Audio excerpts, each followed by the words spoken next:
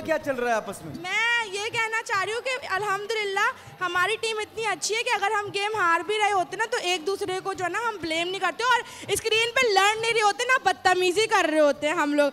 तो इन लोगों की बेहतर होगा की। कि गेम में खेलो मेंटली नहीं खेलने की कोशिश करो यहाँ खेलो और यहाँ जीतो फिर बात करना। ये बोल देखो। जो यहाँ फ्लोर पे आगे जीतेगा सर, मेरे लिए तो वही विनर है। हाँ, रही बात बदतमीजी की तो मैंने अब तक किसी से बदतमीजी नहीं करी और अगर मैं यहाँ पे मेहनत कर रही हूँ तो मैं अपने लिए बोलूँगी ज़रूर। सही बात है बिल्कुल ठीक है। और एक चीज़ बोलूँगा घर साफ़ करो गली साफ़ करने की ज़रूरत नहीं हम अपना खुद देख लेंगे। सेहत के हिसाब से गली बनती है। घर यहाँ बड़े लोगों का बनता है सेहत के हिसाब से गली बनती है। ये इन लोगों का मेरे ख्याल से आपस घर में करनी वड्डा चल रहा है। लेकिन आज ये फाइनल हो जाएगा कि इनमें से पहले नंबर पे कौन सी टीम है दूसरे नंबर पे कौन सी टीम है।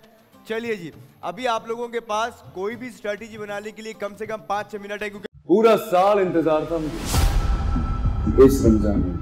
तीस दिन छह टीम्स बारह कंटेस्टेंट्स कैश का पाउंड अब गेम वो होगा जिसे आपका नहीं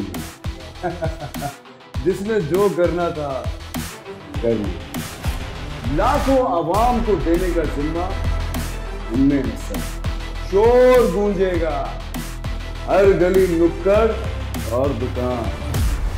रमज़ान लीग बनेगी आपकी पहचान। नारा लगेगा तो पारा चढ़ेगा। गेम शो ऐसे चलेगा। रमज़ान लीग रोज़ाना शाम सात बजे, सिर्फ़ बोल एंटरटेनमेंट पर।